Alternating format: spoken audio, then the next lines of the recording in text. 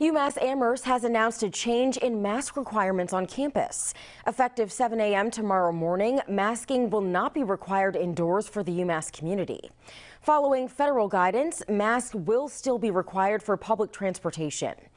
And a mask will also still be required at the Center for Early Education and Child Care.